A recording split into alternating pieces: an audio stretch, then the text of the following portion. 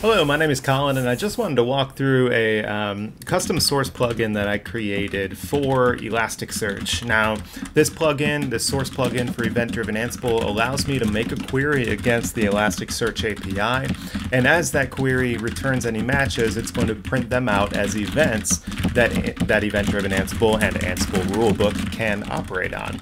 So let's take a look at the left-hand side of my screen first in VS Code.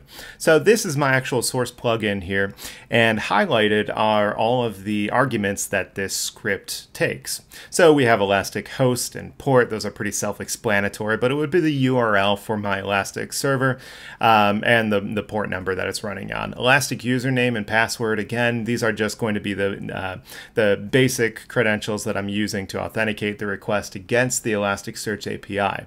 Elastic index pattern is something that's kind of configured within Elastic. We're matching just on the, the FileBeat uh, wildcard here. So within this environment, I'm actually standing up all of these components within a Docker Compose file, um, and then file FileBeat is shipping the Docker logs out to um, out to Elastic. Now the query that I'm making here, the default query is just to, to look for specific um, specific log lines that match container name, keyword, nginx, um, and then it's going to make this query at an interval of this interval here. So if I um, take a look at the Elastic rulebook, you can see that all of those arguments also match up.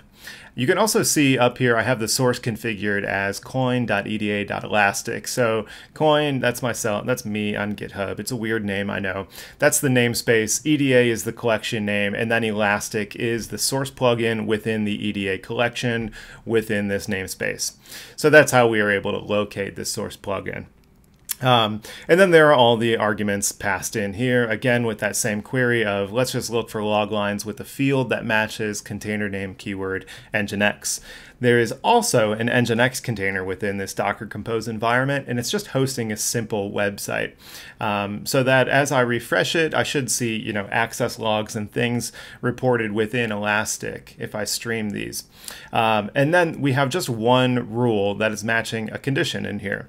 So event.ecs is defined. This is just saying um, that Elasticsearch, the query does return something. Um, if Elastic ECS is defined, I know that there was a log line that was found by that query.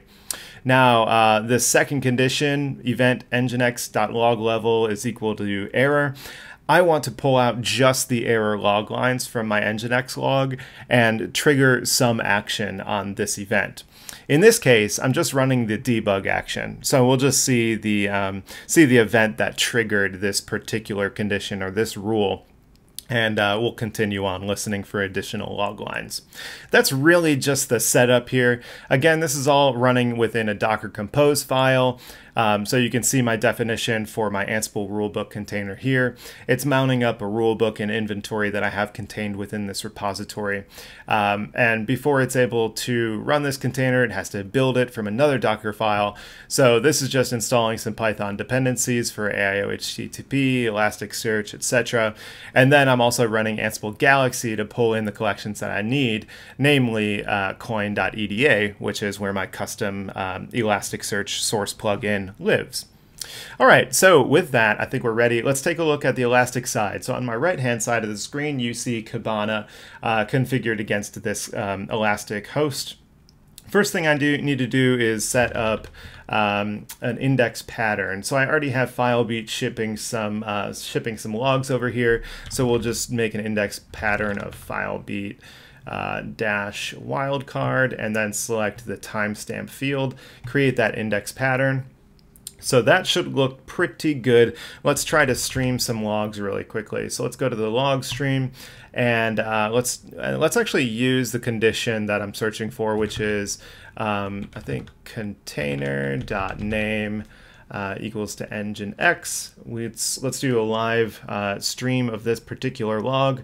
Um, let's see, it's actually 1649 is the current time for me right now. So this is an old line. Let's see if we can get um, some new events coming in on this log stream. We'll do that just by refreshing the website over here, coming back to the log stream and see if uh, 1649 pops up. Okay, there it is. So we see some uh, some additional log lines with the timestamp of the current time, which is 1649. And furthermore, one of those log lines represents an error. So this is the actual log line that uh, Ansible Rulebook and event-driven Ansible should be able to act on as an event. So let's put that in practice. Let's go back to VS Code, open up a terminal, um, now here I'm going to make sure that the Ansible rulebook container is actually started. So I'll do docker compose. Uh, let's just do restart Ansible rulebook because I don't know the present state. Okay, so it's restarted. Let's look at the logs. So docker compose uh, logs. We'll tail it. Um, there it is. Okay, so it looks like it was able to load the uh, the source plugin. Um, see loading EDA. Oh, uh, where is it? Okay, well, it's starting the source. You can see my my rule definition here.